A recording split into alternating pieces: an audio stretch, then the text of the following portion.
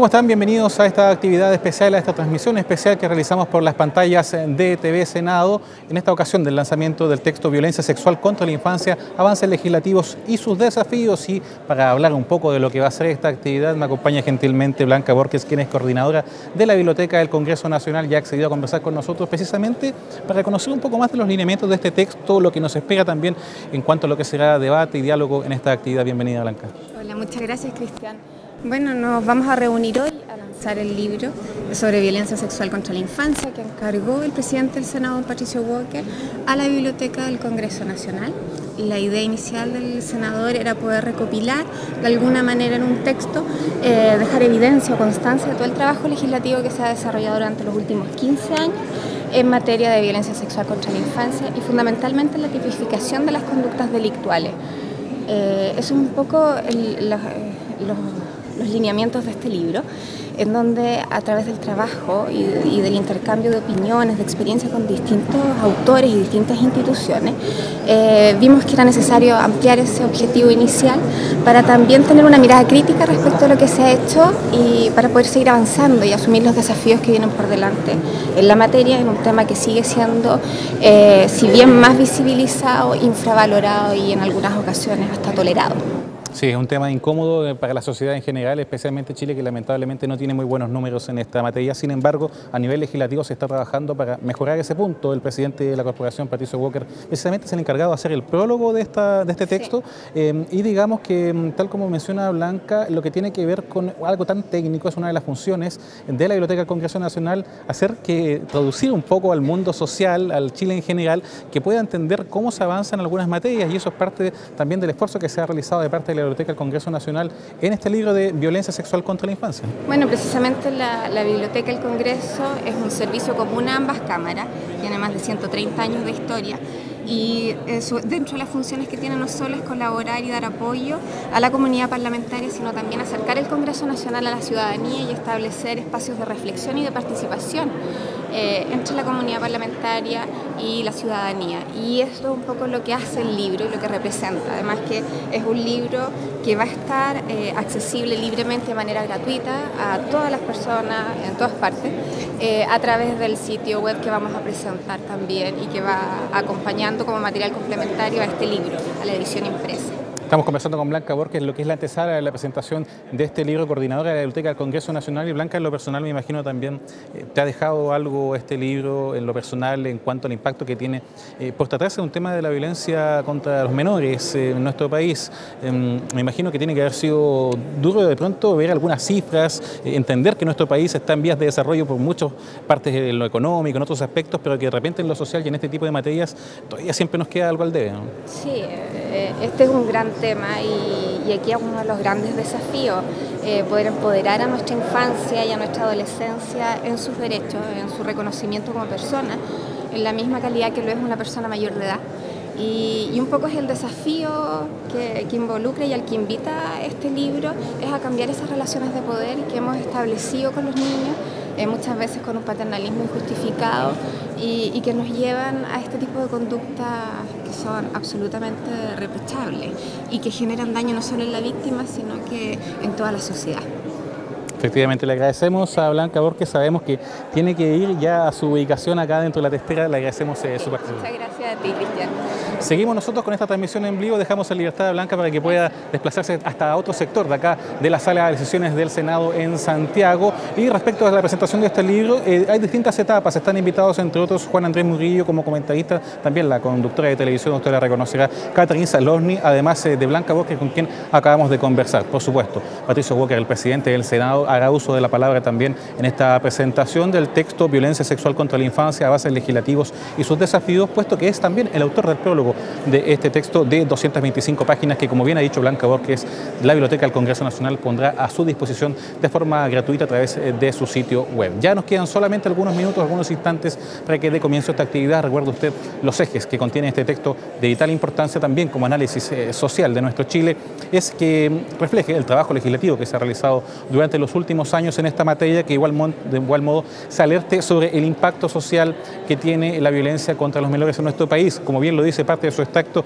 sin perjuicio de la capacidad de los niños que tengan para enfrentarlos de manera particular. Por supuesto, también advertir sobre la necesidad de erradicar estas conductas. Se espera que cada uno de estos actores haga uso de la palabra durante los siguientes minutos y nosotros ya pasamos a dejarlos con lo que son imágenes en directo desde acá de la sala de sesiones del Senado en Santiago en esta transmisión especial al lanzamiento del libro Violencia sexual contra la infancia, avances legislativos y sus desafíos por las pantallas de TV Senado.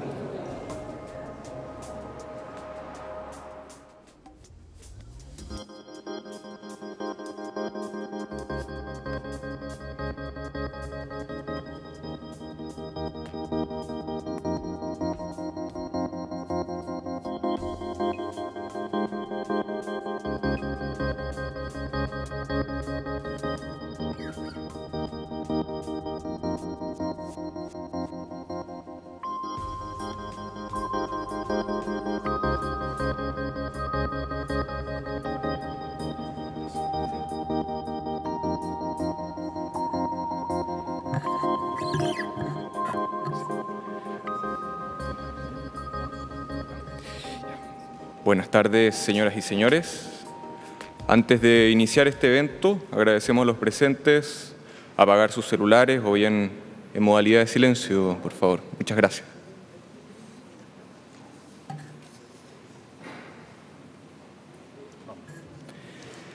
Les damos la más cordial bienvenida a este acto de lanzamiento del libro Violencia sexual contra la infancia, el avance legislativo y sus desafíos, una iniciativa del señor presidente del Senado, don Patricio Walker Prieto, desarrollada con el apoyo de la Biblioteca del Congreso Nacional.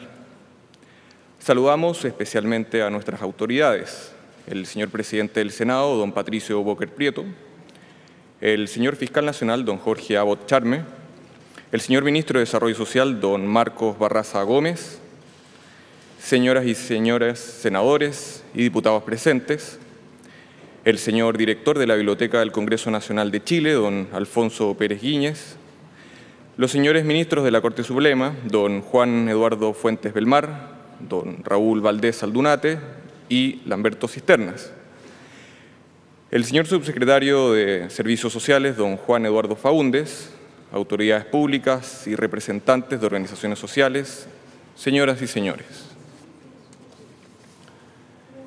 Este libro es una iniciativa que contó con la colaboración de profesionales y expertos en materia de uso infantil, con la idea de plasmar en este trabajo el largo camino que ha hecho Chile para mejorar nuestro sistema legislativo y crear un nuevo estado de cosas para que la protección de nuestros niños, niñas y adolescentes les dé la oportunidad de crecer en un sistema universal de derechos y garantías, en tanto sujetos de derecho. Saludamos e invitamos a tomar las riendas de esta presentación a un amigo de la infancia, siempre disponible para apoyar las causas que involucran la alternativa de una mejor vida para los niños y niñas. Hablamos del periodista y conductor de noticias de Televisión Nacional, Matías del Río.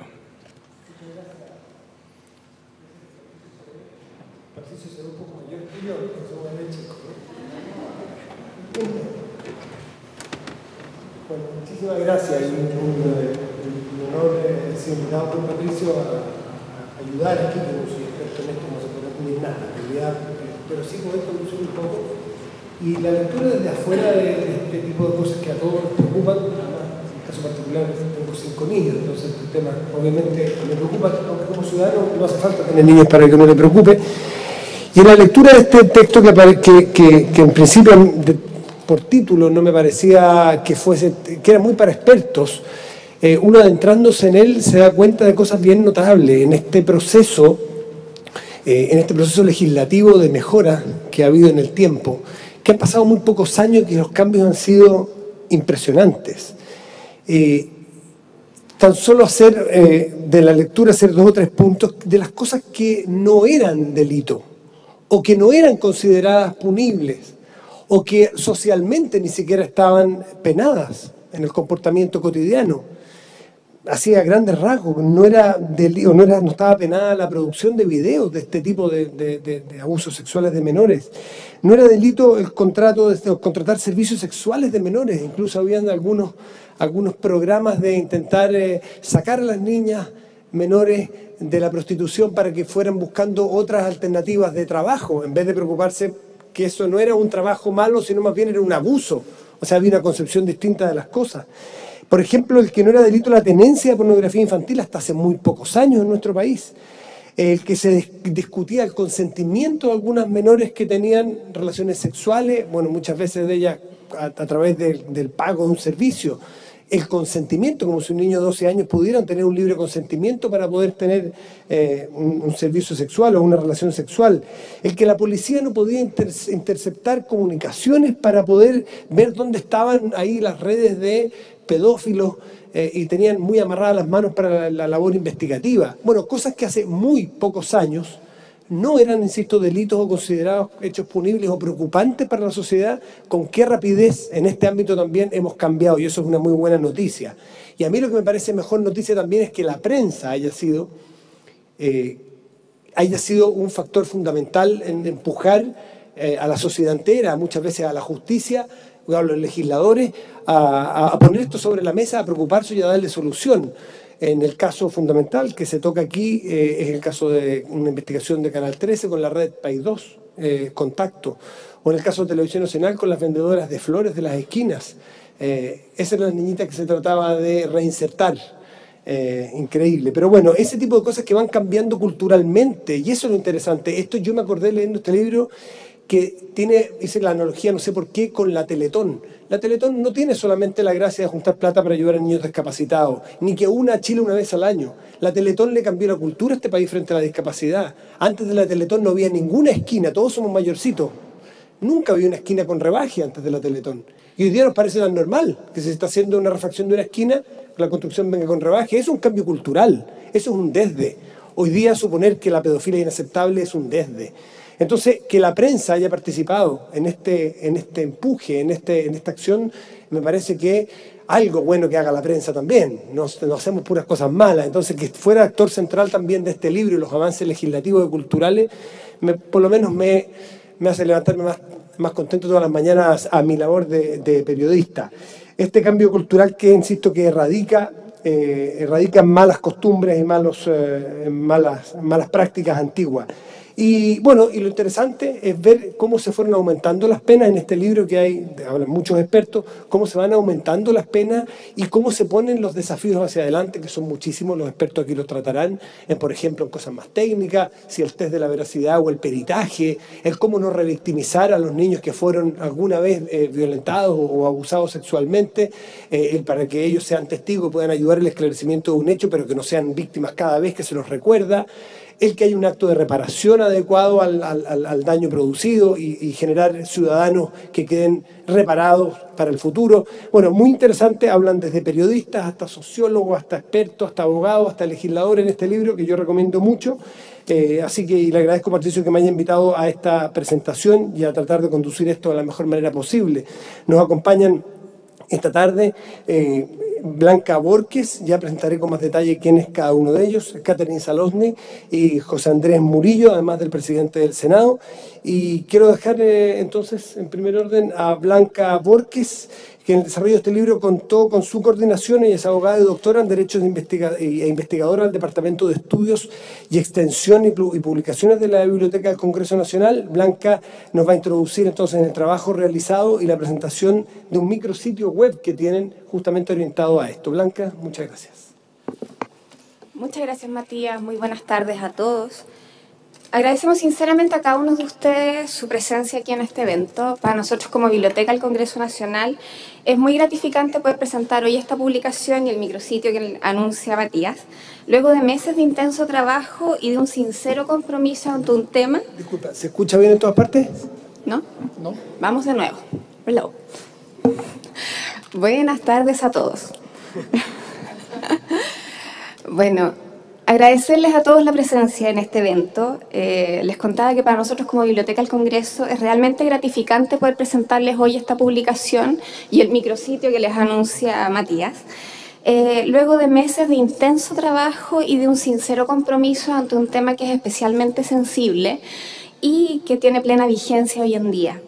Para quienes no conocen todavía a la Biblioteca del Congreso Nacional, comentarles que es una institución que tiene más de 130 años de historia, que constituye un servicio común para ambas cámaras, tanto para el Senado como para la Cámara de Diputados, y que entre sus funciones, y así lo dice su misión institucional, tiene una doble finalidad.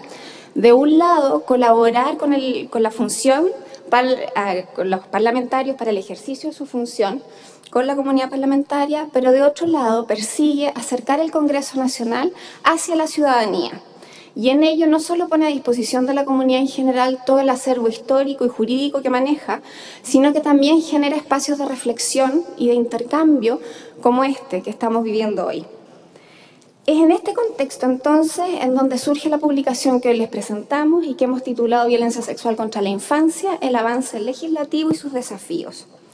En efecto, durante el segundo trimestre de este año, el presidente del Senado, Patricio Walker, quien durante largos años eh, de labor parlamentaria ha manifestado una especial preocupación por los problemas que afectan a la infancia y en especial por la violación, o sea, por la violencia y por los delitos sexuales, encargó a la biblioteca la tarea de elaborar un texto en el cual pudiera quedar reflejado el importante trabajo que se ha desarrollado durante los últimos 15 años en el Congreso Nacional en esta materia.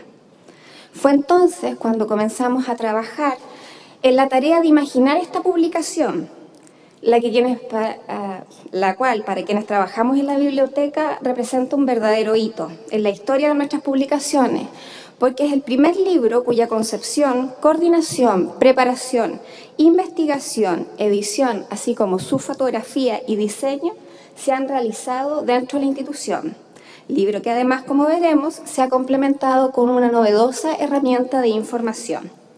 Ahora bien, en este trabajo colaborativo no solo han participado investigadores de la propia biblioteca, sino también destacados profesionales externos, quienes de una u otra forma han contribuido durante todos estos años en la formulación del proceso legislativo que ha llevado a nuestro país a contar con un avanzado marco normativo en lo que refiere a la tipificación de conductas delictivas que atentan contra la integridad e indemnidad sexual de nuestros niños, niñas y adolescentes.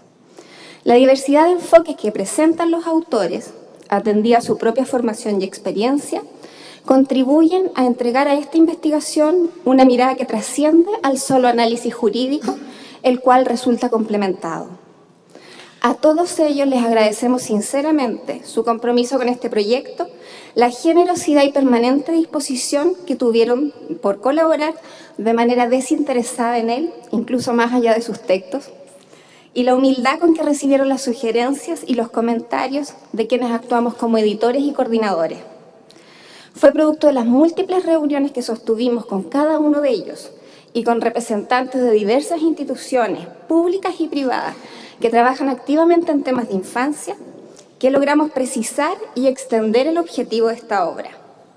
En este sentido, al deseo inicial del presidente del Senado de dejar constancia del trabajo legislativo, se sumó el desafío de integrar una mirada crítica que permitiera al lector apreciar que no obstante los esfuerzos desplegados y los significativos avances alcanzados durante esta década por nuestro país, nos queda todavía mucho por hacer porque estamos frente a un problema que aun cuando hoy es mucho más visibilizado, continúa siendo infravalorado y lo que es alarmante, en muchos casos ignorado e incluso tolerado. Y es que para muchas personas, aún hoy en nuestro país, la violencia contra la infancia y en particular la violencia sexual continúa siendo un tema desconocido, ajeno, algo que sucede a otros, en un entorno muy lejano y que pareciera que sucede o acontece en condiciones de pobreza, de precariedad, de exclusión social o de abandono, lo cual bien sabemos todos los que estamos aquí es un grave error, pues nos enfrentamos a un fenómeno real, brutal y complejo que impacta con crudeza nuestra realidad nacional de manera transversal. Es un fenómeno que conlleva efectos de largo plazo que no solo afectan, incluso en ocasiones de manera irreversible, a las pequeñas víctimas que lo padecen, sino que también a su entorno más cercano y a la sociedad en su conjunto. Esta publicación busca contribuir a la mayor difusión del conocimiento sobre esta realidad. En esta divulgación nos ha parecido necesario ayudar a derribar ciertos juicios que en torno a la violencia sexual se han ido instalando en el imaginario colectivo y que nos impiden apreciar este fenómeno en toda su complejidad y dimensión. Es evidente y a la vez alarmante observar que si bien a diario la prensa nacional e internacional, con mayor o menor sensacionalismo, nos da cuenta de impactantes hechos de violencia y de violencia sexual contra la infancia, aún hoy, y a puerta de cumplirse 10 años desde el Informe Mundial sobre la Violencia contra los Niños y Niñas de Naciones Unidas, en nuestro país un importante porcentaje de la población continúa sabiendo poco sobre este flagelo y sus dolorosos efectos. Es por ello que esta obra se dirige a toda la ciudadanía, a la comunidad en general, pero muy en especial a los operadores jurídicos, no solo juristas y abogados, que de una u otra forma participan tanto en el ámbito de prevención de estos hechos como en la acción y protección de aquellos niños, niñas y adolescentes que han sido vulnerados en su libertad e integridad sexual. De esta forma, el texto que les presentamos ofrece al lector, a través de los seis capítulos que lo integran, un recorrido no solo por la historia de cómo la violencia sexual contra la infancia se inserta en el debate legislativo y cómo se encuentra actualmente de manera normativa tratada, sino también el modo en que los casos de agresiones sexuales contra niños, que fueron puestos en conocimiento del público a través de los medios de comunicación, fueron guiando la agenda legislativa. Todo esto se acompaña de una completa revisión del tratamiento que a la violencia y la violencia sexual se concede hoy en día en el Sistema Internacional de Protección de Derechos Humanos y de un bosquejo de caracterización de este fenómeno en nuestro país. El capítulo final del libro, que se encuentra integrado por diversos textos de varios autores, invita a pensar en los desafíos que, más allá de los importantes avances que hemos alcanzado, son prioritarios de abordar en el inmediato y más corto plazo. Entre ellos, consideramos que es imprescindible avanzar con convicción y con paso decidido hacia una real y efectiva cultura de derechos en favor de los niños, las niñas y los adolescentes. Es tiempo, tal como lo ha expresado hace poco tiempo la representante especial del secretario general de Naciones Unidas sobre la violencia contra los niños, de consolidar los logros que hemos alcanzado, aprovechar la experiencia adquirida y redoblar los esfuerzos para dar forma a un proceso dinámico de cambio y construir un mundo en el que todos los niños puedan crecer libres de violencia. Debemos dejar de lado la contemplación para dar paso a la acción. Es por ello que entendemos que esta publicación es parte de un trabajo que no acaba aquí con esta presentación, pues tiene la intención de trascender y transformarse en una herramienta útil y de fácil consulta para quienes deben enfrentar estas materias y no siempre cuentan con el necesario conocimiento, la suficiente información o esta no es de fácil acceso. Esta necesidad es la que nos ha desafiado a crear un espacio complementario a la edición impresa, donde además de dar una mayor difusión a la obra mediante su descarga libre y gratuita, como lo pueden apreciar ahí, se permite el acceso de los usuarios a material adicional que pueda facilitar su accionar en la materia. Esta herramienta persigue poner en valor no solo el ingente material con que cuenta la propia biblioteca, como es Ley Chile, las historias de la ley o nuestro propio catálogo bibliográfico, sino también persigue presentar el trabajo que se genera en otras instancias e instituciones especializadas y que es preciso ayudar, a difundir. ¿Cómo pueden acceder a este sitio? A través del código QR que se ha incorporado a la solapa del libro, o bien a través del sitio web que aparece reseñado en la propia, en la propia presentación del libro o la página www.bcn.cl. ¿Qué pueden encontrar ahí? En primer lugar, el saludo al presidente del Senado a esta publicación, pero distintas cajas que contienen material de importancia que no siempre es fácil de encontrar, ni todo el mundo lo maneja o lo conoce. Un ejemplo es que se han enunciado todos los delitos de connotación eh, sexual contra menores de edad que hoy en día se encuentran tipificados por nuestro Código Penal. La gracia es que se enuncia no solo el nombre con que este delito se encuentra tipificado, tanto por el código como por la doctrina, sino que se puede acceder de manera inmediata al artículo específico en su versión eh, actualizada y vigente. De igual forma, podría accederse a material que se ha generado para efectos de esta publicación, como es un análisis de cómo han evolucionado estos tipos penales desde 1990 hasta 2015. También contiene este sitio material audiovisual de difusión que se han generado por otras instancias que nos han colaborado y que permite a la comunidad de una manera, eh, de una manera fácil tomar conciencia de este problema. También es posible acceder al acervo bibliográfico de la biblioteca, el que debemos recordar está abierto a toda la comunidad, nosotros somos una biblioteca ciudadana y por tanto todos tienen derecho a consultar nuestro material y acceder a él.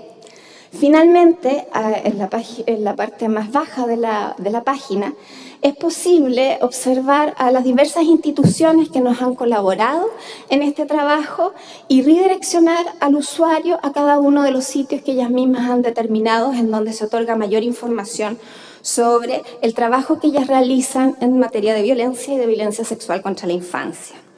Este es un sitio en permanente construcción al que están invitados todos a participar busca ser un punto de encuentro y de contacto entre las diversas instancias que trabajan las materias relativas a la violencia contra la infancia y la violencia sexual. Como es de prever, el producto final que ustedes van a poder acceder solo muestra una parte del trabajo que hay detrás y de las dificultades no menores con que nos encontramos durante el curso de su elaboración. Quizás la más importante es que los tiempos acotados con los que contábamos nos impidieron abordar con mayor profundidad todos los aspectos del problema planteado del modo como hubiéramos deseado hacerlo. Y asimismo nos impidieron tomar contacto con tantas otras instituciones que realizan una labor extraordinaria en esta materia y cuya experiencia sin lugar a duda hubiera podido ayudarnos a enriquecer aún más el contenido de la publicación. No obstante, reitero, entendemos que este es un trabajo que se encuentra en construcción, que es posible de ir perfeccionando. Estamos frente a un trabajo de colaboración al cual están todos invitados a participar.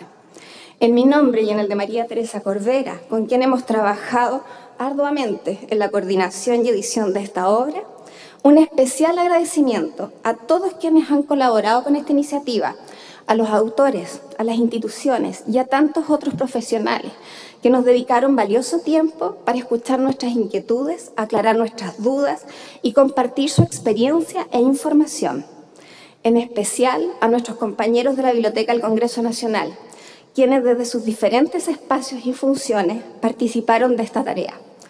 A comunicaciones, a estudios, a producción, a CISRED, a servicios legislativos, al CID y espero que no se me quede nadie fuera.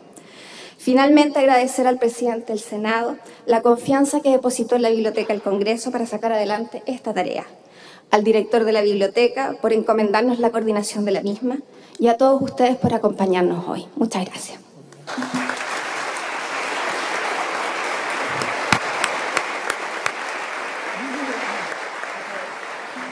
Muchas gracias. Muchas gracias, Blanca Borges. Y ahora quiero dejar la palabra para comentar esta edición de violencia sexual contra la infancia, avances legislativos y sus desafíos. Está con nosotros Catherine Salosny, ya lo habrán visto, conductora de televisión, hoy del programa Mucho Gusto de Mega, La Competencia. No, no es competencia. Gracias, Matías. Una mujer con una larguísima trayectoria, actriz, conductora, multifacética, pero además sobre todo muy amiga de esta causa. Por eso el presidente del Senado ha tenido a bien, como se dice en esta sala, invitarla a esta testera. Catherine. Gracias, Matías, por la presentación y lo de multifacética. Oye, em, yo la verdad quiero hablarles desde mi experiencia más sensible cuando tomé lectura de este libro. Primero agradecer, Patricio, que me hayas invitado. No me extrañó cuando, me, cuando lo hiciste. Eh, yo los conozco, lo conozco a través de José Andrés Murillo. En algún momento me invitaste a un seminario que fue tremendamente interesante, entendiendo que este es un tema sensible para mí, que sí me importa mucho que me provoca mucha impotencia, que de pronto se traben los avances, en fin. Pero me, acuerdo, quiero contar esa experiencia que fuimos a Coyhaique, porque no sé si ustedes saben, Aysén es, creo, el lugar donde está la tasa de abuso sexual más importante de Chile. Y hasta, mm, hasta, no, hace hasta no hace mucho, eh, la verdad es que esto no era visible en la zona, no se verbalizaba, no se denunciaba. Más bien era un tema muy tabú que se ocultaba y, que estaba permanentemente en la sombra. Y me llamó la, y me cuentan este antecedente y me llamó la atención lo que ahí sucedió cuando llegamos a ese seminario. La comunidad toda se puso eh, de acuerdo en sacar el tema a la luz, hacerlo visible. Desde ahí parte la reparación. Y, me tocó entrar a una sala repleta de gente donde estaban padres de niños abusados, niños y niñas abusadas, eh, que finalmente em, ellos sintieron que la manera de, sanar a sus hijos, donde tenemos una deuda importante también en Chile, era entrar en comunidad, verbalizar sus historias eh, y de esa manera hubo un proceso de sanación importante allá en la zona y que sigue hasta el día de hoy. Es un grupo de gente enorme que se puso de acuerdo de que este es un tema que hay que ponerle frente y ponerle freno, dada todas las falencias que tenemos. Yo sé que se ha avanzado mucho y se habla alto sobre eso en el libro, pero también siento que falta más de lo que se ha avanzado todavía. Eh, en cosas tan específicas y tan importantes como, por ejemplo, la repetición de las entrevistas de los niños, eh, que por Dios que, que, es fundamental que eso se retire. y a mí me provoca impotencia que no se haga con celeridad, siendo que ya es un tema, eh, el tema del abuso sexual está siendo bastante protagónico hace varios años ya. donde las denuncias lo demuestran, de hecho, porque se ha hecho mucho más visible. A mí me parece tremendamente eh, valioso la lectura de este libro para la sociedad toda, no solamente eh, para quienes son especialistas en distintas materias, sino que para, al interior de la familia. Es un libro que debiera existir al interior de la familia, porque todavía hay mucha ignorancia y, y hay que salir de ahí y la ignorancia es muy peligrosa al interior de los hogares. Yo me imagino que ustedes entienden por qué. Por lo tanto, creo que es un documento tremendamente valioso que debiera estar eh, partiendo por las familias, siguiendo por los lugares de docencia, de enseñanza, eh, y en fin, la sociedad toda debiera eh, acceder a este principio, porque este es un principio, es una base tremendamente valiosa desde por donde tenemos que partir. la invitación es a que lo lean, lo lean con eh, conciencia, con, eh, con, reflexión. Eh, y también a sorprenderse de las cifras. Yo había muchas cosas que tampoco sé, siendo que estoy cercana al tema. Pero hay cifras que son impresionantes, impresionantes en muchos sentidos. Por lo tanto, yo creo que es una invitación a salir de la ignorancia, básicamente, siento yo. Eh, creo que es tremendamente valioso que un grupo como ustedes se hayan juntado con tal nivel de compromiso y de especificación que hay acá en, esta lectura. Eh, con, compromiso, hay cariño también acá detrás. Hay, hay ganas de que salgamos adelante con un tema, con un flagelo que es transversal, ¿no? Eh, que tiene que ver con el abuso, no solamente sexual, sino que también tiene que ver en todas sus formas a los niños es, eso desde ahí era desde donde tenía ganas de hablar, eh, porque me provocó mucho esta lectura, me dieron ganas de que se siga avanzando también, pero para poder avanzar creo que lo más importante es lo que quiero rescatar, hay que salir de la ignorancia. Y cuando salgamos de la ignorancia vamos a tener la fuerza suficiente como para darle celeridad nosotros como ciudadanos a, a quien lo legislativo las cosas cambian para poder hacer reparaciones más contundentes y necesarias en tantos niños que hoy lo necesitan, niños y niñas. Eh, yo los felicito profundamente, de verdad, de todo corazón. Y eh, en los medios, en el medio en que yo trabajo, sin duda que voy a, voy a ser la primera en promover la violencia sexual contra la infancia, porque es un documento de verdad valiosísimo y que yo los invito a todos que le den la lectura necesaria. Eso, muchas gracias.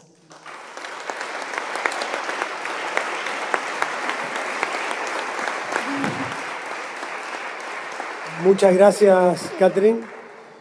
Y José Andrés Murillo participa también como comentarista de esta obra, es filósofo de formación Y José Andrés, como dijo el, sacerdote Felipe Berríos en alguna entrevista, es un héroe de la iglesia, pese que para muchos es el victimario de la iglesia.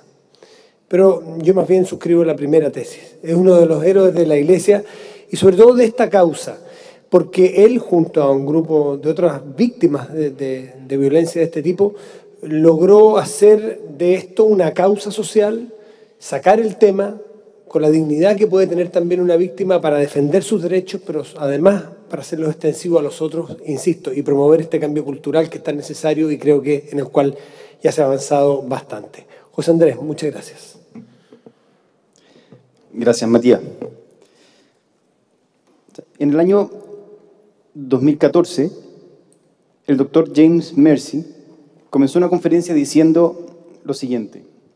Imaginen que sale en las noticias que los científicos han descubierto la causa de una nueva enfermedad a la que han estado expuestos al menos 250 o 300 millones de personas en el mundo. Esta enfermedad aumenta la incidencia del estrés postraumático, ansiedad y cuadros depresivos, así como también infecciones y enfermedades de transmisión sexual, incluido el VIH. Además, sitúa a las víctimas a un mayor riesgo de contraer diabetes, enfermedades del corazón, cáncer, abuso de sustancias, llegando incluso a tener mayor probabilidad de, delinquir, a ser víctima crónica de violencia. Y después dice, la verdad es que tenemos esa enfermedad y esa causa y se llama abuso sexual durante la infancia. Eso lo, hice en, una universidad em, cuando estaban investigando sobre este, sobre este tema. Yo agregaría, en realidad para ser justo, algo que lo que no estoy totalmente de acuerdo con él, que no es exactamente el abuso sexual hacia la infancia, sino la indiferencia social ante ella, la indiferencia familiar, institucional, nacional, la falta de una respuesta apropiada así como la falta de políticas preventivas efectivas. No sé si todos saben, pero estos días se está discutiendo en el Congreso, en la Cámara de Diputados, una ley de garantía de derechos de la niñez. Probablemente es una de las leyes más importantes que se está discutiendo o se ha discutido en los últimos años en nuestro país. Y sucede que muchas veces que comento esto en algún grupo eh, de amigos, de amigas o incluso como académicos, hay dos reacciones que me inquietan profundamente. Una un grupo de personas siempre dice, ah, se está discutiendo sobre los derechos de los niños, ¿no? ¿Y cuándo se va a discutir sobre los deberes de los niños? Como, como si el cuidado de, la, infancia, como si los derechos de los niños hubiese que condicionarlos de alguna manera para poder ejercer su derecho a ser como niños eh, Y la otra que me preocupa también profundamente es cuando nos dicen se va a prohibir la violencia, el castigo corporal incluso, a los niños. ¿Y cómo se les va a poner límites a los niños? ¿no? Sabiendo que los límites son estos límites, ¿no? Y ahí me acuerdo, como, además como si se les quitara una especie de derecho eh, legítimo de los padres las madres a pegarle a los niños, ¿no? Y ahí me acuerdo, porque lo que se busca es poner límites y educar, de em, Francesco Tonucci, este, como activista, pedagogo de los derechos de los niños, italiano, que un momento vino este año a Chile, contaba que, que él hace encuentros con niños acerca de política, acerca de todo tipo de conversación. Y en un momento estaban hablando sobre la guerra en el Medio Oriente. Y le preguntan em, a una niñita de 11 años qué opina ella de, la guerra. ¿no? Dice, el problema de la guerra, dice, el problema de la guerra son los adultos. Yo le pondría límites a los adultos. Dando vuelta absolutamente como este principio pedagógico de que son los adultos que le ponen límites a los niños. ¿no? como si los límites más siempre fueran, eh, en realidad como si los, adultos dentro de su categoría adultocéntrica tuvieran ellos los límites súper claros, ¿no? y por lo tanto los niños tienen que tener esos mismos límites. Y ahí siempre me pregunto si esas personas que se cuestionan el hecho de pegarle, ejercer violencia ¿no? corporal hacia los niños, le pegan también a sus subordinados. ¿no? Y lo pregunto muchas veces. ¿no? Bueno, ¿tú le pegáis a tus subordinados? ¿no? Bueno, siempre dicen no, porque, ¿y por qué? Bueno, porque en general dicen porque es ilegal, o porque me pueden pegar de vuelta, porque me van a denunciar, o porque no aprenden así. ¿Sí? Entonces, la única razón de por qué tú le pegáis a los niños, a tu niño, porque, o porque tú piensas que es bueno pegarle, es porque ellos no se van a defender y te van a seguir queriendo. ¿no? Y no porque van a aprender, porque en realidad con, con la violencia no se le enseña, sino que se condiciona a, ejercer un comportamiento o a inhibir otros. ¿no? Es solo ejercicio de poder. Y hay un ejercicio de poder hacia, de poder abusivo hacia los niños, que yo creo que todavía no, se ha investigado toda la especificidad de esa como ruptura, esa, esa transgresión que va desde la, desde la, violencia física hacia la violencia sexual. ¿no? Uno de los errores que hay, creo yo, en la comprensión del abuso sexual infantil es que se intenta comprenderlo como si fuera una especie de abuso, una, especie de relación sexual que se manifiesta de manera abusiva, ¿no? Y no un abuso de poder que se manifiesta sexualmente. ¿no? Lo primero es que es un abuso de poder, como la simetría de poder, en la cual, en un contexto abusivo, en la cual se puede ejercer ese, em, ese abuso, es lo que hay que comprender para poder prevenirlo, detenerlo, intervenirlo, castigarlo y, también repararlo, sanarlo. Llama la atención que en general esa especificidad queda silenciada. ¿Qué es lo, más específico de la agresión sexual? En la que se le roba al niño o a la niña muchas veces incluso su derecho a sentirse víctima de algo, ¿no? Por el doble vínculo, por la coerción, por el engaño, por esta especie de seducción perversa en la que, se le impide tener conciencia que está siendo víctima de algo. Esta simetría, esta es la simetría en la que hay que, creo yo, profundizar. Una asimetría de poder social, familiar, patriarcal, que probablemente hay que sacudir para poder comprender lo que hay detrás de eso. ¿no? Y es lo que hace que solo uno de cada 25 casos de abuso se denuncie es lo que hace que las personas en general, solo a los 26 años en promedio, son capaces de hablar del abuso sexual del cual fueron víctimas durante su infancia. Incluso hablarse a ellas mismas. El secreto, dice la psiquiatra infantil Mary Gail Frolio Díaz, que es experta en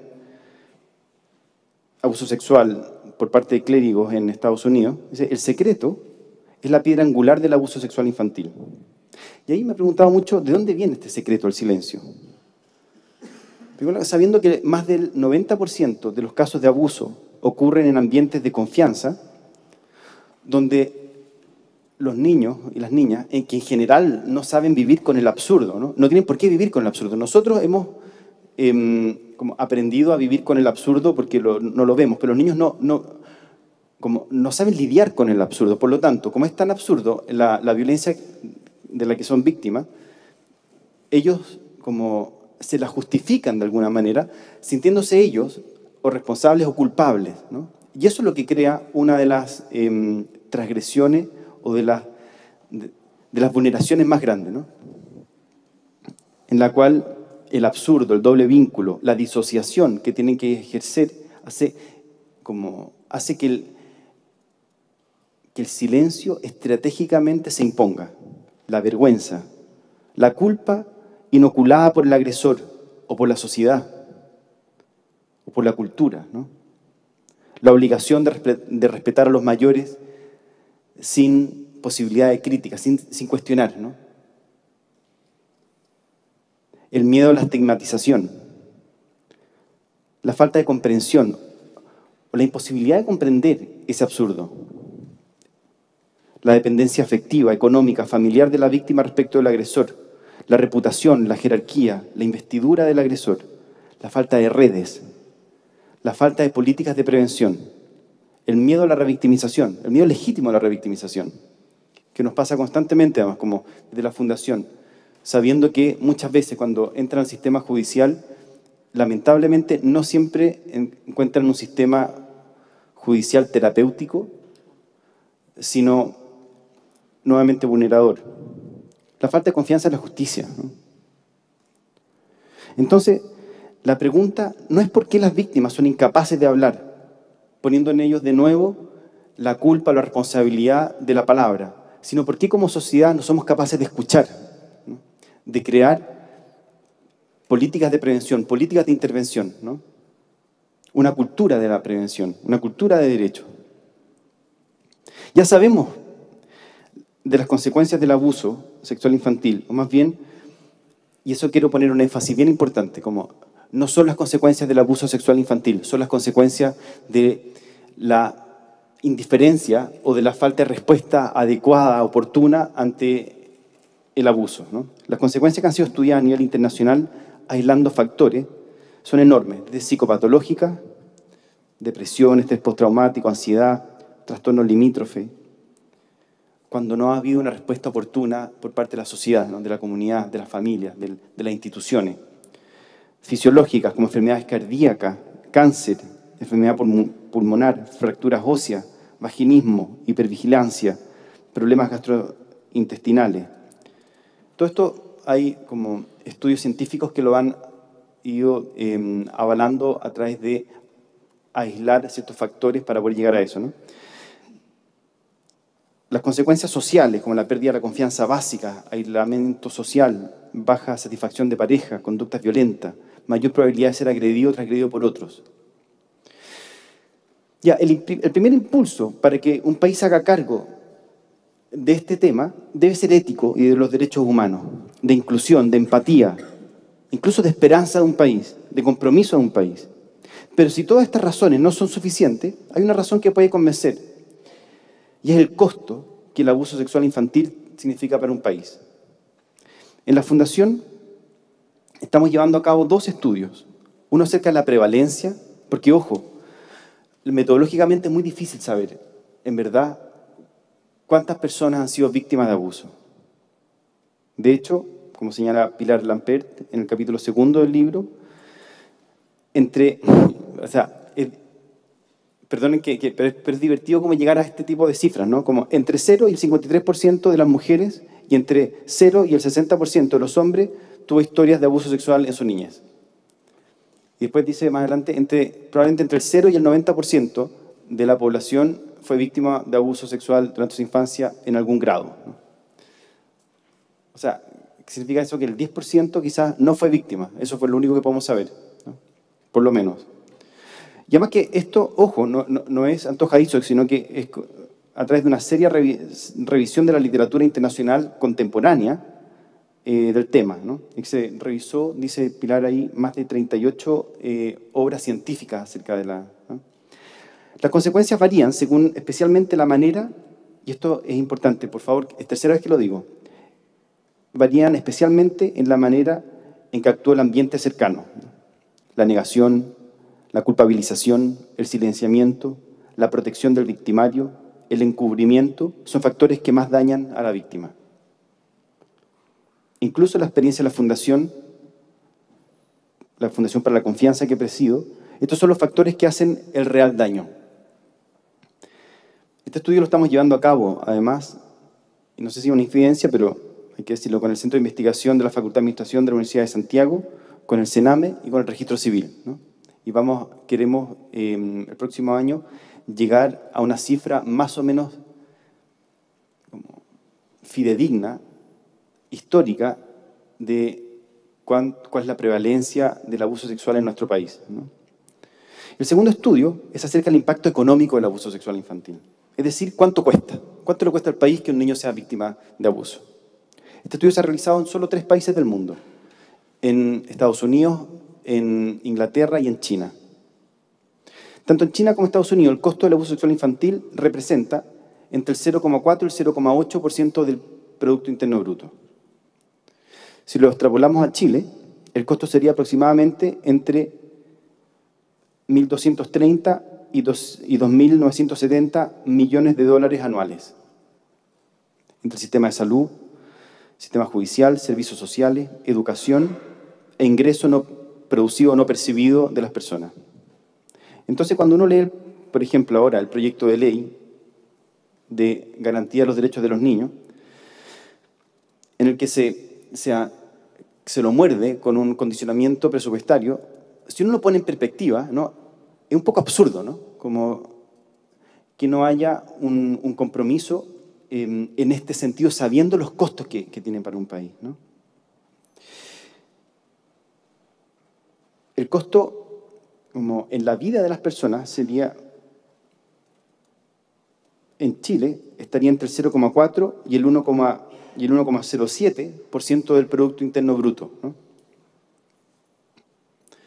Con esto en mente, como con, un fundamento ético, político, de derechos humanos, incluso económico, el, libro lo, que hace es em, como fundamentar o dar algunos argumentos de lo que hoy es necesario hacer para prevenir, para intervenir, para reparar, para sanar biografías. ¿no? Entonces los desafíos urgentes, creo yo, que el libro explícitamente menciona son, uno, la implementación de sistemas de prevención eficaces del abuso sexual infantil a todo nivel en nuestra sociedad. Un sistema que no existe. ¿ah? Como el 0, entre el 0,4 y el 1% del Producto Interno Bruto es el costo del abuso sexual infantil y sin embargo no hay políticas claras de prevención. No, no hay investigación. ¿no? Y son cosas que la, sociedad civil estamos intentando hacernos cargo con recursos absolutamente como, como austeros, casi inexistentes, pero nosotros tenemos que hacernos cargo de eso. ¿no? Más investigación para conocer la real dimensión del problema del abuso en nuestro país, con sus consecuencias a todo nivel. Es fundamental que por ley se prohíba explícitamente todo tipo de violencia hacia la infancia en todos los ámbitos de su vida de familiar hasta policial. En uno de los capítulos, Christine Weidenlaufer como hace un llamado bastante importante, creo yo, a que Chile se haga parte de la Alianza Global contra el Abuso Sexual Infantil en Internet, que reúne ya 54 países que se creó hace tres años y que todavía no somos parte. Además de la creación, y esto no está en el libro, explícitamente por lo menos, pero creo que es importante, la creación de la figura del defensor del niño, de los derechos del niño. Más allá de sus acciones, que debieran ser amplias, el defensor debe establecerse como un hito para la infancia, como una figura empática de defensa y garantía de sus derechos. Debe tener una ventanilla ¿no? y capacidad para elevar quejas y eventualmente litigar también. Debe tener un peso simbólico y eficaz. Autonomía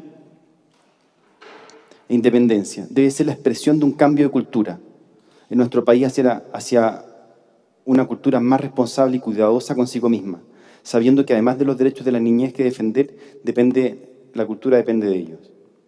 Finalmente, no sé si estoy lateando mucho, pero quiero agradecer al presidente del Senado, Patricio Walker, primero por la invitación, pero también por volver a la política auténtica, la que cuestiona y se deja cuestionar por la fragilidad de la infancia y por su fuerza. Por su diferencia respecto del mundo adultocéntrico. Una fragilidad que en su cuestionamiento responde con la acción política del cuidado hacia ellos. Chile necesita, creo yo, esta política, una política de la infancia, una política de la otra voz. Infancia se puede, puede, significar sin voz o con una voz diferente, la otra voz. No nos quedemos solamente con que los niños son sin voz, sino que son una otra voz. Porque hacerse cargo de la infancia es hacerse cargo de todos. Es la única, el único asunto político que los incluye a todos. Todos los demás excluyen a algunos y siempre a la infancia. Así que muchas gracias por la invitación, gracias por esta iniciativa y gracias por lo que se está haciendo eh, desde la presidencia del Senado.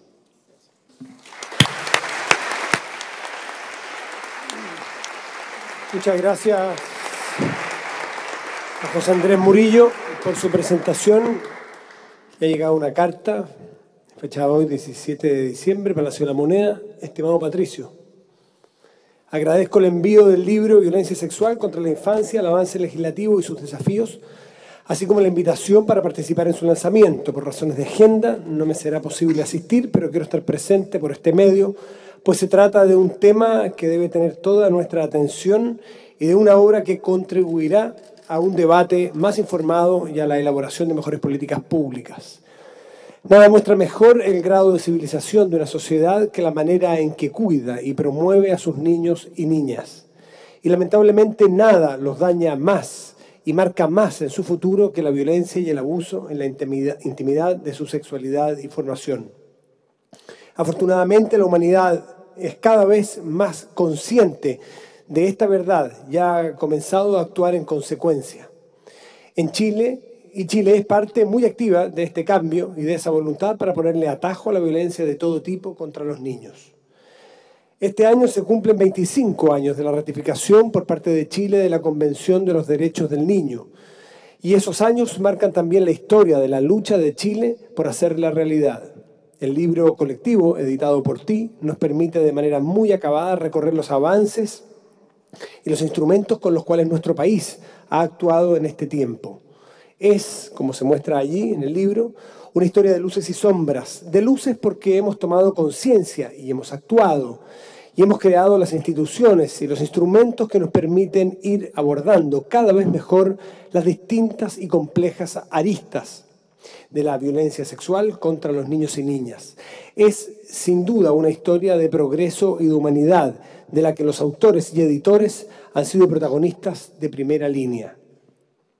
Pero es también una historia de sombras, porque ha avanzado movida en buena parte por el impacto y por la indignación social que han causado casos de altísimo impacto, de abusos, y porque aún tenemos tareas pendientes.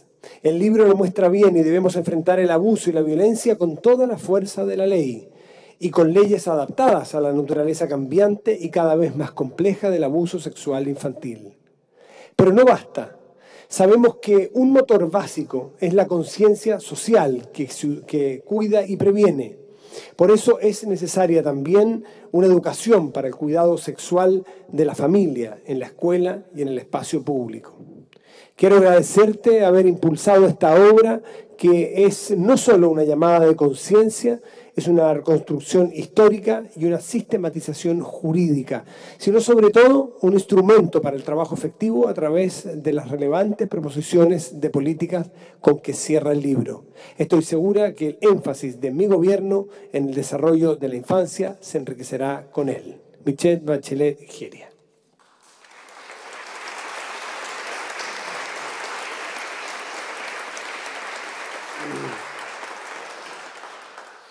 No se asusten cuando digo mi gobierno, no hay ni un riesgo. ¿eh?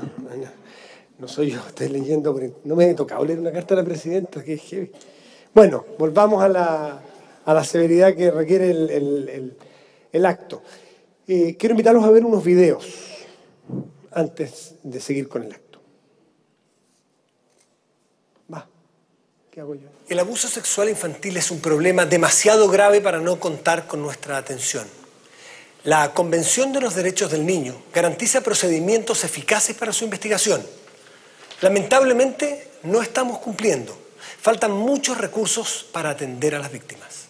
En Chile, más de 16.000 niños y niñas son abusados sexualmente cada año. En un solo día, 43 niños son violados o abusados. Eso es un abuso cada 33 minutos. El abuso sexual muchas veces no deja huellas físicas. Por eso, para probar un abuso y hacer justicia, es necesario realizar peritajes psicológicos que se basan en los relatos de los niños, evaluando su credibilidad. La lista de espera para este peritaje suele durar un año. Durante esos 365 días, las huellas del abuso se desvanecen, se entierran, se esconden y con ello la posibilidad de hacer justicia. La solución a esta larga lista de espera exige aumentar el presupuesto público de las instituciones a cargo, como el CABAS, Servicio Médico Legal y CENAME. La espera de las víctimas de abuso ha sido por muchos años demasiado larga. Frente a estos hechos, tienes dos alternativas, taparte los ojos o actuar. Somos muchos los que ya estamos haciendo algo. ¿Y tú? ¿Qué vas a hacer? Si tocan a un niño, me tocan a mí. A mí me toca. Apóyanos con tu firma y tus ideas y difunde nuestra campaña. Somos muchos los que ya estamos haciendo algo. ¿Y tú? ¿Qué vas a hacer? Un abuso sexual a un niño puede dejar una huella para toda la vida. Una huella profunda, marcada por personas que utilizan su poder y manipulación para callar a sus víctimas. Y en este pacto forzado de silencio, por amenazas y temores, se entrampa la posibilidad de denunciar, se entrampa la verdad. Somos muchos los que ya estamos haciendo algo. ¿Y tú? ¿Qué vas a hacer? Apóyanos con tu firma, con tus ideas y difunde esta campaña. Si, tocan a un niño, me tocan a mí.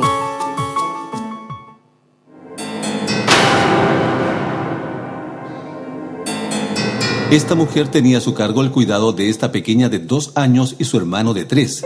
Estas imágenes dan clara cuenta de maltrato. Necesitamos tipificar este delito e imponer una sanción penal. Hoy la ausencia de norma deja en la impunidad este atentado contra la integridad física y psíquica de niños y niñas.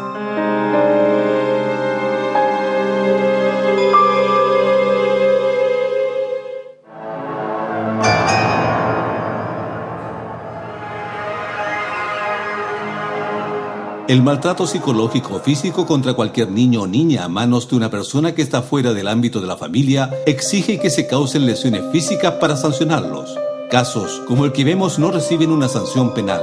Estamos en deuda con la infancia y adolescentes de nuestro país. Es hora que el maltrato y la crueldad fuera de la familia sean delito y se sancionen.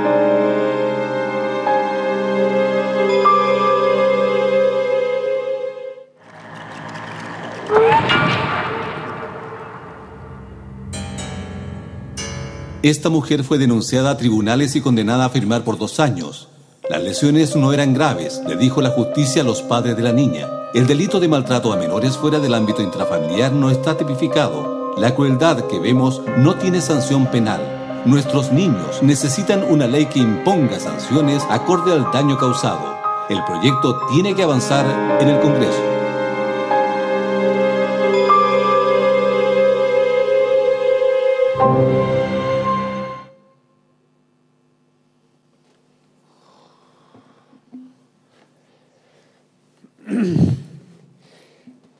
Eh,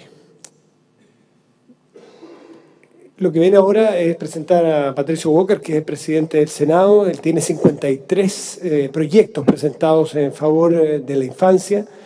Patricio Walker ha destacado, como es evidente hace muchos años, además como un luchador por impulsar eh, una legislación y varias legislaciones que protejan a los niños y niñas y adolescentes de nuestro país. Y para poner la legislación al día en Chile, para tener, o ponerla al día con la, eh, la normativa internacional, eh, sobre todo ahora que se cumplen los 25 años de la Convención eh, del Niño.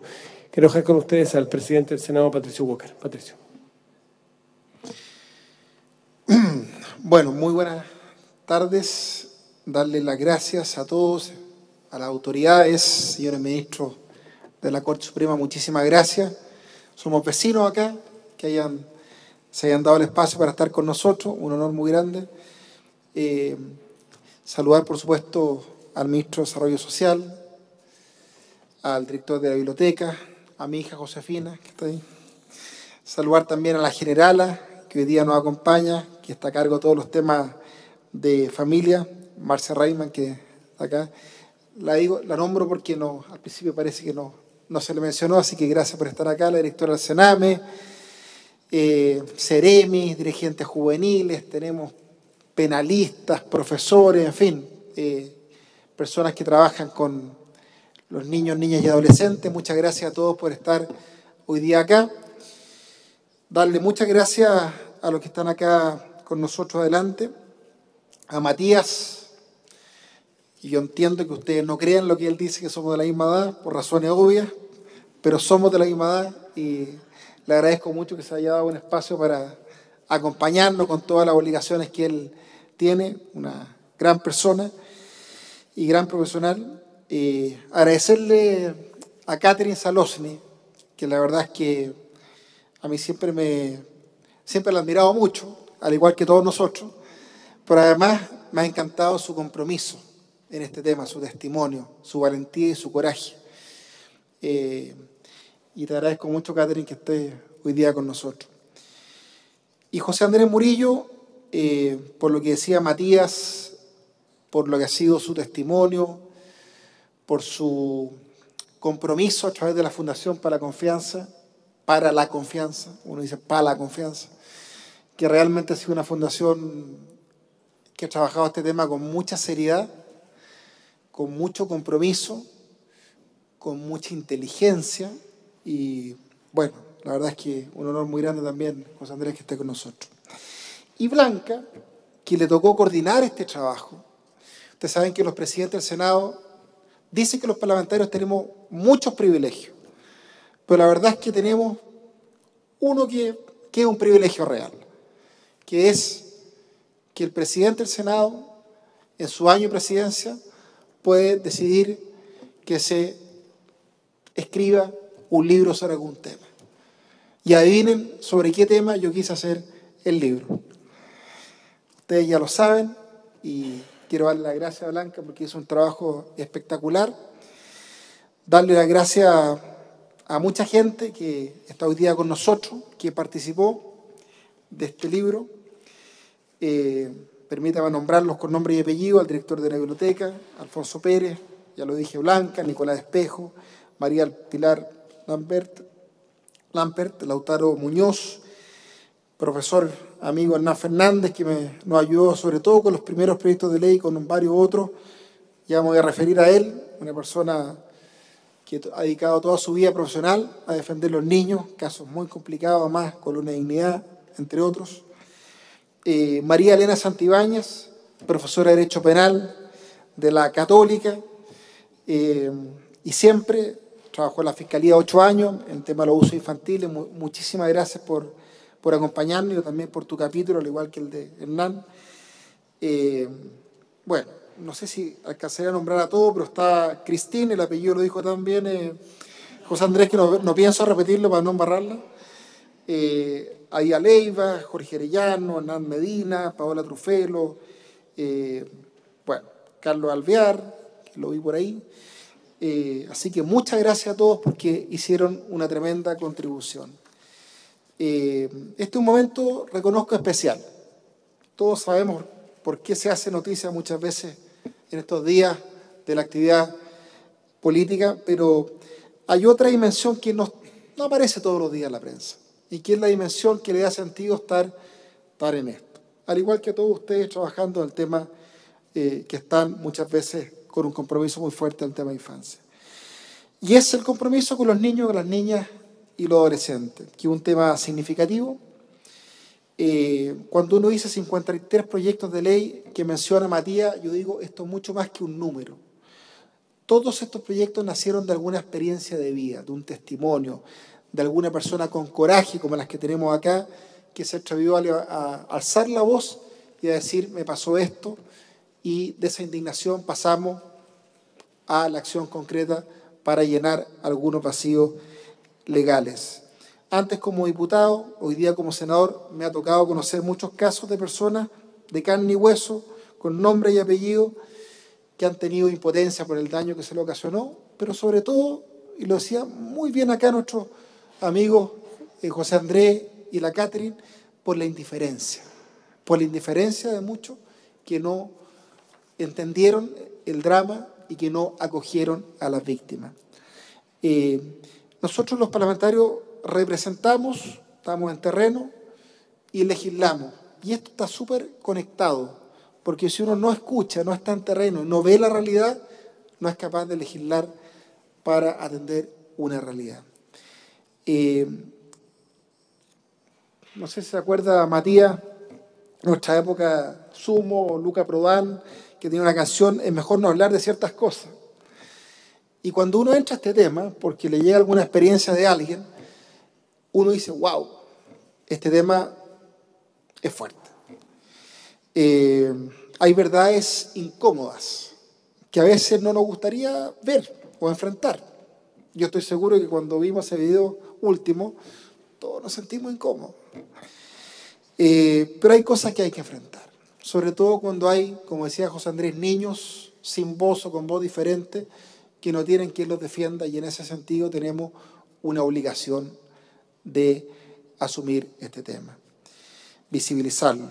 Antes estaba muy ignorado esto, se ha dicho, eh, a veces tolerado, poco visualizado, eh, y reitero, gracias al coraje y valentía de los sobrevivientes, como algunos lo han llamado, del abuso sexual infantil, eh, este tema podemos hoy día enfrentarlo. quiero y espero que esto sirva de guía para muchos que trabajan en este tema. Para eso está el sitio web abierto, ojalá que nos ayuden a promoverlo. Decir que lo que estamos hablando acá no es teoría. Esto es algo que ocurre. UNICEF dice que un 25% de los niños, niñas y adolescentes en nuestro país, no en otro, han sufrido violencia grave. Y eso es algo dramático. Antes se decía que Chile era un paraíso para la pedofilia. Probablemente era un poco exagerada la expresión, pero eso daba cuenta de los vacíos legales que teníamos. Eh, cuando partimos, Hernán, con el primer proyecto de ley, año 2002, tú me corriges, estaba en los medios de comunicación la operación Catedral. Tú lo escribes en tu texto. Que era una red de pornografía infantil, en que habían personas que intercambiaban pornografía infantil, en que las fotos y los videos que tenían más violencia tenían un valor mayor, y para eso utilizaban niños del mundo, porque ustedes saben que Internet es una aldea global que no reconoce frontera, fronteras jurídicas. Y había un gringo, Thomas Bertinuson, que era un prófugo de la justicia americana, eh, que fue liberado en Chile porque no era delito. La conducta que él había, en que él había incurrido no estaba tipificada como eh, delito. Y la verdad es que eso nos ocasionó esas imágenes y esa impotencia, mucha frustración, y ahí nos decidimos actuar en LAN y presentamos en esa época con la diputada Guzmán un proyecto de ley para sancionar la pornografía infantil. Nos estábamos quedando atrás de los avances tecnológicos y teníamos que ponernos al día. Nunca voy a olvidar, una vez viendo donde trabaja Matías Televisión Nacional, informe especial, en que daban a conocer la situación de una niñita, lo decía algo Matías, que la verdad es que no me dejó nada para mi posición porque hizo un resumen perfecto del libro, eh, de una niñita en un barrio en que llegaba un auto, fue un buen auto, una persona, la niñita aparentemente vendía flores, era algo, más que eso, la niñita subía al auto y al tipo le tapaban la cara. Y yo decía, ¿y por qué le tapan la cara? ¿Por qué le tapan la cara? Porque no era delito pagar por servicios sexuales con una menor. ¿Cierto? No era delito. Salvo que hubiera fuerza, intimidación, violación, en fin, o las causales del estupro, pero por regla general no era delito. Y la rabia, la indignación que generó eso, tremenda.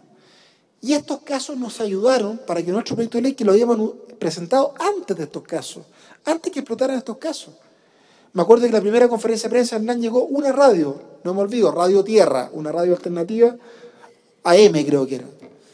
¿Ah? Bueno, no era tema. Y empezó a ser tema. Bueno, la Delia después fue directora del Senado, en fin, y nos involucramos y el Congreso tomó conciencia y sancionamos la explotación sexual comercial infantil al cliente, siempre.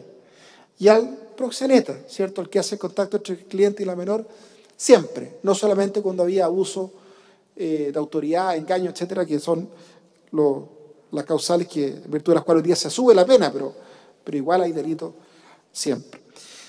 Eh, la pornografía infantil, lo decía eh, Matías, o sea, se hacía un video con una niñita que era utilizada como objeto y la niñita tenía 12 años y si no había violencia, no había engaño, no era delito. No era delito, esa era la situación que teníamos. Y nos dimos cuenta que había que legislar. Hernán nos dijo, esto es, me acuerdo muy bien, hay eh, que atacar los distintos eslabones de la cadena. Al que produce, al que distribuye, al que comercializa, pero también al que, entre comillas, tiene material pornográfico infantil en sus computadores. ¿Por qué? Porque ahí está la demanda. Y es muy difícil sorprender a alguien produciendo, pero mucho más fácil a alguien que tiene en su computador. Y ahí fue la discusión más difícil, porque lo hemos conversado con María Elena, que es profesora de Derecho Penal, y como buena profesora de Derecho Penal es muy exigente en estos temas, teníamos que sancionar un verbo rector, y la posesión no era una conducta. Entonces ahí llegamos a almacenamiento, ¿cierto? Navegar, pinchar, bajar, guardar, eso es lo que sancionábamos. Y así, gracias a eso, digamos, se han desbaratado muchas redes de eh, pornografía infantil. Eh, después salió la red Paidos, Sacarach, ¿te acuerdas, Hernán? Tú nos dijiste, tenemos que dar una herramienta para que las policías, porque era un lugar en Isla Negra, ¿cierto? Estaba Sacaracho, tenía un furgón escolar con varios niños que lo llevó, pasaba muchas cosas dentro de la cabaña. No podemos esperar una orden judicial, no podemos esperar un delito flagrante, tenemos que actuar antes. Y ahí aprobamos la norma cuando hay un peligro para la vida, la salud, la integridad física de la menor, y ahí pueden actuar las policías, en fin. Y eso se mejoró, hay una discusión si eso se podía o no, pero quedó eh, establecido. Aumentamos las penas, yo me acuerdo, el abuso infantil tenía penas de 61 días, 5 años, quedó de 3 a 10. El estupro lo mismo, la subimos, la violación al piso era 3 años, 5 a 20, en fin. Ahí aumentamos también, le dimos facultades a las policías. Yo no sé si está Jaime Jara, que me dijo que iba a venir de la policía de investigaciones, pero las policías necesitaban atribuciones, como la tiene la ley de drogas, para interceptar comunicaciones, usar a gente encubierto, por supuesto, previa autorización judicial. Para estos casos, no, no tenían la herramienta, hoy día las tienen. Por eso los temas sustantivos son tan importantes como los temas procesales que establecimos en esa primera ley. El tema del grooming, toda esta cosa que los, los, adolescentes chatean, internet, en fin, bueno, algunos adultos hacían pasar por niños, se ganaban la confianza, obtenían imágenes, con eso los chantajeaban y no había sanción. El grooming o el acoso sexual por internet menor es la puerta de entrada o la antesala al abuso físico, propiamente tal. Lo sancionamos. El tema de las inhabilidades y el registro de pedófilo, de condenado, de inhabilidades, para que uno pueda preguntar y evitar contratar a alguien. La prescripción, lo decía muy bien José Andrés, promedio de edad en que las personas reconocen y denuncian o enfrentan el tema, 26 años. Bueno, y si el niño había usado a los 5 años para un abuso, a los 10 prescribía la acción penal o una violación a los 15, 10 años. Prescribía y después pasó a la vieja. No podía ser. Ahí establecimos que se computaba el, término de prescripción desde la mayoría de edad en caso que de niño no se hubiera denunciado porque no se sabe que es delito, porque el abusador era alguien que tenía una, relación asimétrica de poder, etcétera, etcétera. Todo lo que ustedes saben. Pero nos falta el tema. La entrevista video grabada, o sea, no podemos seguir esperando, la Catherine tiene toda razón. Pero esto ya la aprobamos en la sala del Senado. Estaba viéndose ahora en particular, pero ¿cuánto tiempo llevamos viendo en particular? No es que no trabaje la comisión, está con 10 proyectos importantes. 10. Todos súper importantes. Pero este proyecto debería tener discusión inmediata, porque no hay ninguno más importante que este para que el niño tenga que prestar 6, 7, 8 declaraciones y haya una entrevista video grabada y eso sirva de prueba para el juicio. Después el tema de eh, mejorar el tema de los peritajes, el tema de la violencia extrafamiliar. El proyecto está presentado, aprobado en general por la sala del Senado, ahora lo estamos viendo en particular. ¿Cómo hay que esperar que haya lesiones para sancionar la violencia contra un niño? No puede ser. Si se sanciona la violencia intrafamiliar, sancionemos la violencia extrafamiliar cuando hay una relación de cuidado. Ley de garantías, afortunadamente se está aprobando ahora en la Cámara. Defensor de los derechos de los niños, reconocimiento del ministro de Desarrollo Social. Gran aliado, la directora del Sename, Marcela Labraña. Ahora, por fin, en enero, el gobierno envía el proyecto al defensor de los derechos de la infancia. Nosotros habíamos presentado todos los anteproyectos, pero no teníamos iniciativa los parlamentarios. Ahora sí. Ahora sí, pues ministro. En enero lo a cobrar la cuenta. Tiene que ser presentado, lo vamos a aprobar. Alguien que defienda a los niños siempre. Yo creo que es algo muy eh, importante. ¿Qué se trata todo esto? ¿Que los niños no pueden confiar más en los adultos? ¿Que vamos a crear una sociedad de desconfianza? La respuesta la ha José Andrés Murillo. Hay dos enemigos en esta lucha la desconfianza total. Porque si no, no hay relaciones significativas. Si no, Si hay desconfianza total, no se tiene a quien recurrir cuando hay un abuso. Eso no es bueno. No es bueno. Y la otra, el otro extremo es la confianza ciega. La confianza hay que ganársela, tiene que haber límites. Y en eso lo que tú has escrito, la confianza lúcida, yo creo que es el eh, camino. Así que yo no quiero latearlos más porque me ha alargado mucho. Ustedes además hicieron un resumen bastante pormenorizado de este libro. Yo quise ser un simple facilitador. ¿Ah? Acá la idea, uno puede ser acaparador o facilitador. Un simple facilitador con la colaboración de la biblioteca para que todos ustedes escribieran. Le agradezco muchísimo, muchísimo su presencia. Como decía alguien por ahí, los, libros, los niños no votan, no protestan, ¿ah? pero lo importante es que su voz se escuche fuerte y clara en el país, en el Congreso, en el gobierno, para que efectivamente paguemos la deuda que tenemos con el mundo de la infancia. Así que muchas gracias por acompañarnos y muchas felicidades a todos.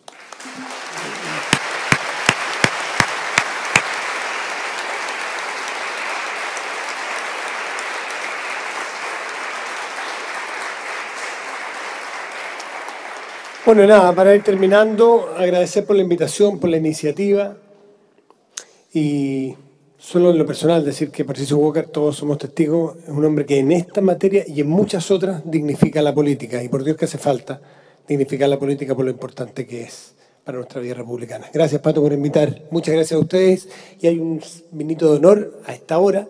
Los que no están manejando en la sala sala de lectura León Gallo. Muchísimas gracias a ustedes también por haber venido. Chao. De este modo entonces vamos terminando esta transmisión especial de este lanzamiento del libro Violencia Sexual contra la Infancia y quien me acompaña, ustedes lo acaban de escuchar también en la presentación de este libro, el presidente de la corporación, Patricio Walker. Presidente se ha dado cuenta de los avances eh, que están contenidos precisamente en este texto, pero que sin duda queda por avanzar, incluso con anuncios para enero próximo podría ser. Bueno, sí, muy importante. Agradecerle a toda la gente que vino, a toda la gente que nos ha visto, que nos ha escuchado. Eh, aprovechen el micrositio web abierto para toda la comunidad para informarse respecto al tema del abuso infantil, saber cómo combatirlo.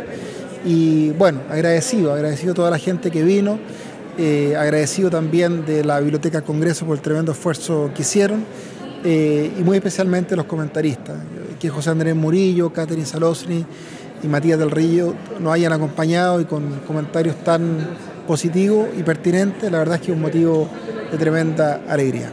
Eh, presidente, sabemos que tiene que asistir al vino de cortesía, pero eh, antes de eso, mm, a propósito de su gestión en la presidencia de la corporación, sin duda está el sello de la probidad y la transparencia eh, para las instituciones, en este caso el Senado, y sin duda también el énfasis que ha habido precisamente en la protección de la infancia. Efectivamente, este ha sido un tema importante, probidad y transparencia. Estamos trabajando con proyectos de ley muy importantes y el tema infancia, por supuesto, especialmente esperando que el gobierno envíe el defensor de los niños para eh, enero, ¿cierto? Y poder tramitarlo, ojalá, con mucha prontitud. Junto al presidente del Senado, entonces damos término a esta transmisión al lanzamiento del libro de violencia sexual contra la infancia. Usted encuentra este material, como bien lo acaba de decir el senador, en la página de la biblioteca del Congreso Nacional bcn.cl. De nuestra parte, le agradecemos su compañía y por favor continúe nuestra programación con más espacios, con interés en lo legislativo, pero también en lo cultural. Muchas gracias.